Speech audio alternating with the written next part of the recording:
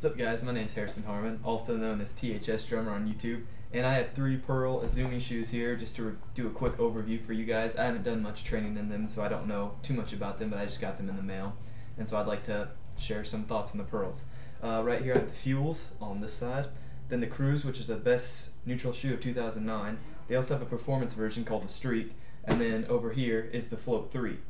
So let's just cover some basic stuff about all three shoes. They all feature the main Pearl um, features, which are the Skydex, which is featured in the forefoot, and also back here. Um, you can see that here, and I have pictures that I'll post to where you guys can see that in more detail. You also have the Syncro frame, which is this metallic part here. Um, it's shaped in the shape of a trapezoid, and it kind of just encompasses the whole base. It's uh, very similar to the Mizuno plastic plate in the bottom. It just kind of gives the shoe extra stability, just reinforces the shoe all around, so you don't have just this cushioning down here that has no support. And then it also features a seamless inside, which I can't really show you. You can't really tell, but it's seamless, so you have no, you don't really have any hot spots or anything, no blisters. Um, and so that's pretty much all three shoes have that. That's the basic Pearl um, features. Uh, so let's just go through some impressions. Um, all three shoes feature a lot of cushioning, as you can tell down there. They'll have that large back end of the shoe. Um, so yeah, obviously they have a lot of support, and then they have um, a two-part insole, which all three shoes have the same insole. I was kind of surprised to find that. It is a, a lighter foam up here, soft in the forefoot, and pretty stiff in the back foot. As you can tell back here, we have a red part, which is a stiffer foam, and then this white part up here, which is a softer, more flexible foam.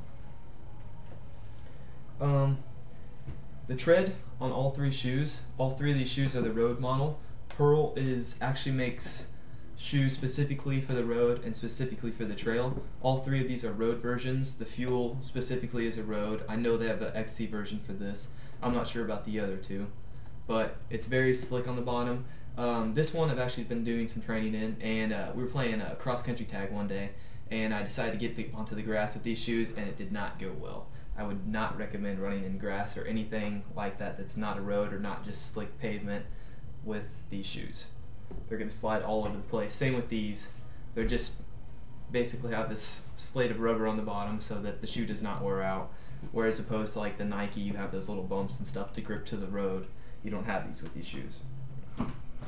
Um, and so just some other quick things to say. Uh, the shoes are very comfortable. Obviously, they have the, the seamless inside, which is very smooth, no hot spots, no complaints about that.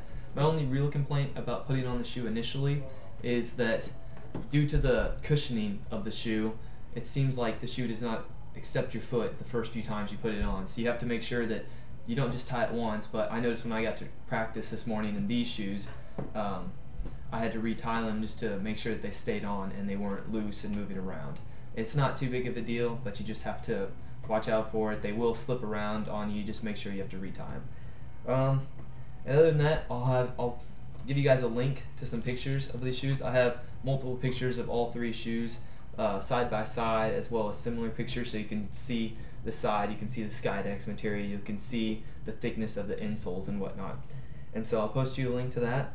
Other than that, just run like an animal. I'll see you guys next time.